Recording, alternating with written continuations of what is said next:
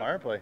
the way he's playing, that's good for him. We're we're all happy, obviously, when a solid uh, defenseman like him uh, that plays solid defensively every night gets rewarded on the other side of the puck. Uh, it's great, and uh, we're all happy for him. And Luca also the same thing, getting a goal tonight. Yeah, I mean it could be same thing uh, for both these guys. Uh, you wouldn't know that they're not uh, offensive guys. Though they've been playing all year, uh, they get shots through and uh, they play extremely well defensively. And obviously, we we need that to keep going, uh, moving forward, and um, just show the poise that.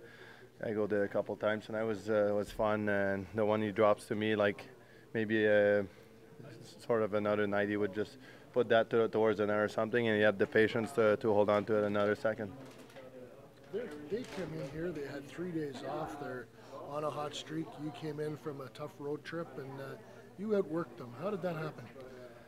Well, there's a there's a couple of games on the road trip that we felt like we put in the work, uh, like Boston, and uh, we didn't get rewarded. Uh, Toronto and uh, and Montreal, we have a really good second and third period, but not a good first period. So we wanted to have a complete game, and and we, we knew that. Uh, I mean, sitting here, they would have enough energy to to play against us. And uh, sometimes it's always hard the first game back after a long road trip. So uh, it was kind of all, all the opposite of, of, what we expected in a way, and we we came out of out of the gate uh, pretty well, and uh, we just kept at it the whole time.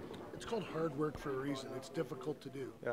But have you guys figured out that when you apply that formula, you're really hard yeah. to stop and, and just kind of that's the way you're, you're going to play? For sure. The I think the first pair that, I, like I said, of Toronto and Montreal were a key example when we we're not having tight gaps, or if we don't put in the work in the ozone to uh, to create chances or create create turnovers, we don't get anything. And, and then when we see the way we do when we do it right, it's, it's just night and day. And uh, tonight we applied it all game, and um, we, we they still got a few chances. Our, our goalie was playing uh, really well, and uh, but we put put some of our chances in the net.